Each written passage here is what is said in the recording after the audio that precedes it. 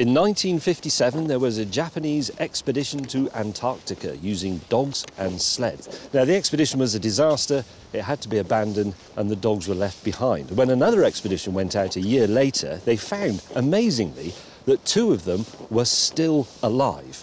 Those two dogs became national heroes of Japan, and as a result of that, it became fashionable in Japan to own a husky type dog.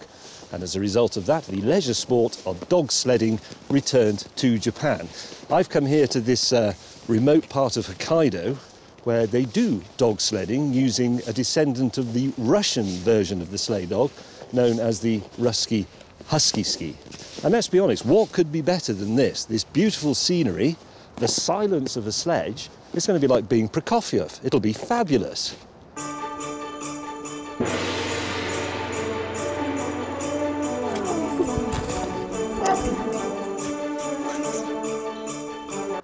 Right, James. Only one in a million people will get that reference to Prokofiev at the end. Yeah, well, they might just think, there goes James being a bit pompous and intellectual again. Am I being pompous and intellectual? Nobody's ever said that. Well, they've said pompous, but they haven't said intellectual. Am I being pompous and intellectual, viewers? Press the red button now. I am.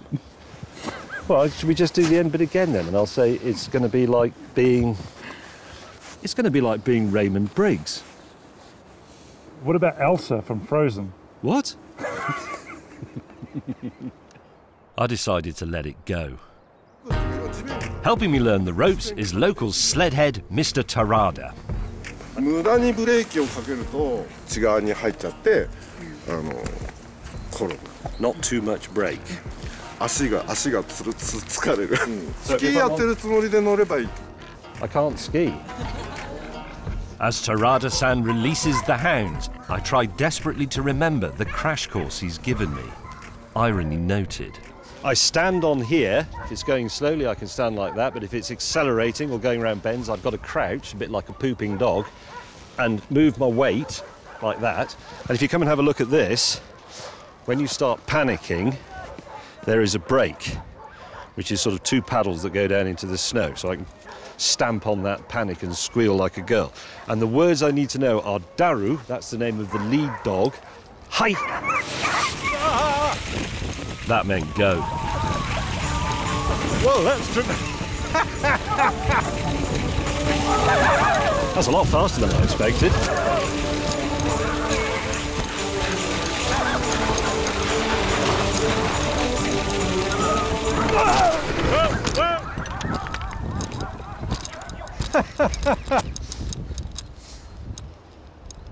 I wasn't expecting that bit. Can you go a bit slower? Put the brake on. Oh, put the brake on. Okay. Oh God, there's a bendy bit coming up. Can't steer. Whoa! There's no balance Sorry.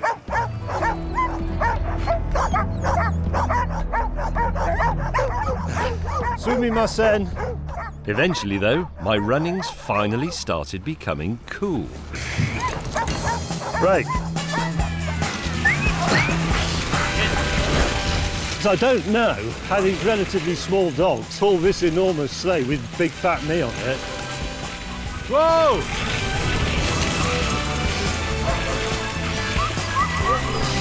Geez, it's exhausting. I wish I had more time to appreciate the lovely scenery here, but I'm desperately trying to hang on to this bloody thing. Hi, hi, hi. Go wide in Japanese. Ooh, I'm using a little bit of braking. Whoa, whoa, whoa.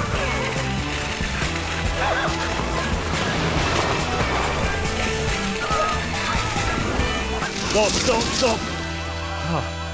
Ah, Stopped. Oh, very nice. Ah, okay. change, it, change. Yes, you have. Geez, that's the that's the hardest thing I've ever done. Ah. Cut.